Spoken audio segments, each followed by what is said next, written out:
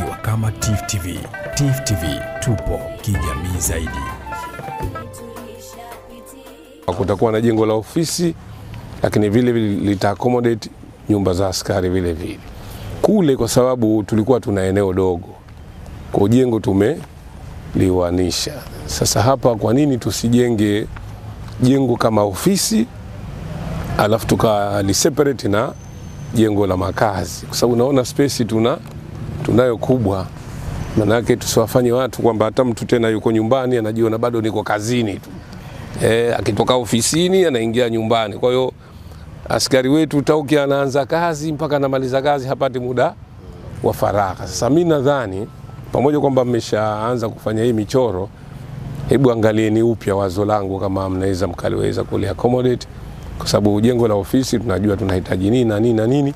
Si vibaya hata kuongeza gorofa, si vibaya kuongeza gorofa ili shughuli zetu zi, ziweze kujiaccommodate zote, lakini jengo nafikiri kama la makazi likawa limejitenga kidogo, nafikiri itakuwa, itakuwa ni vizuri zaidi.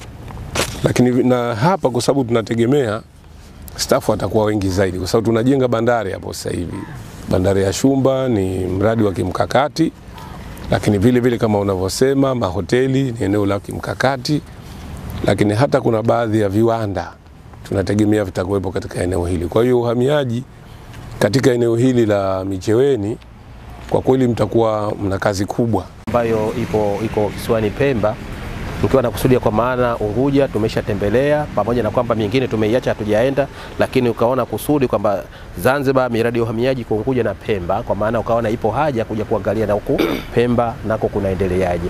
Kwa hivyo kama tulivyokujulisha kwamba miradi yetu hii inajikita kwa visiwa vyote viwili Unguja pamoja na, na Pemba na Pemba zaidi zaidi tuna, tunaelekeza zaidi kwenye majengo ya ofisi pamoja na majengo ya makazi. Kama unavyojua Unguja mara nyingi maafisa wetu maaskari wetu wanakuwa wanakaa katika nyumba zao wenyewe nyumba zao binafsi, lakini kisiwani Pemba tunapowaleta wafanyakazi wetu huku haina budi wakakodi nyumba uraiani. Sasa hicho ndio tunapata ukakasi, kwa maana kwamba tunakuwa tunataka tulete askari wengi, lakini tunashindwa kutokana na makazi hakuna.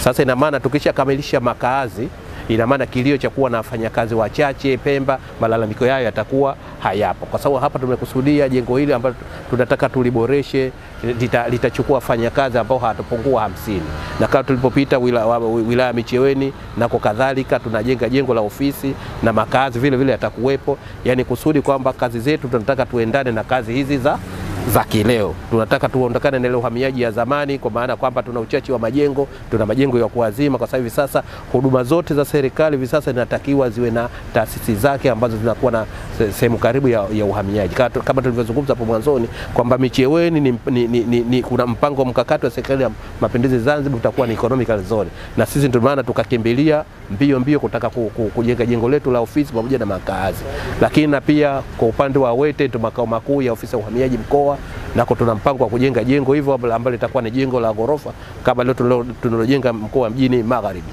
Kusudi kubwa kunataka huduma za wananchi ziwepo karibu na sisi.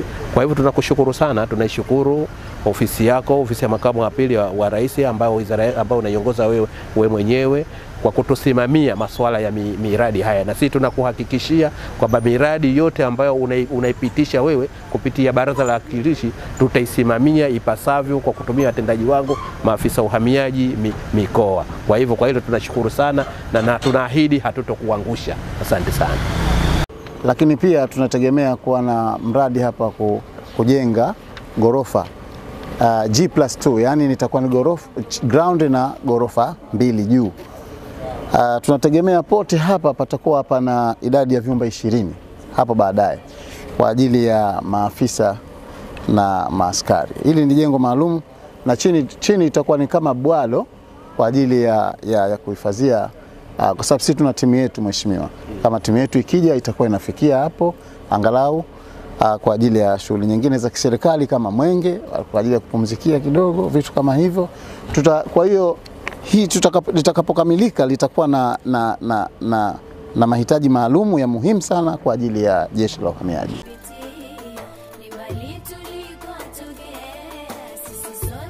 Tukiwa kama TIFF TV. TIFF TV tupo kijamii zaidi.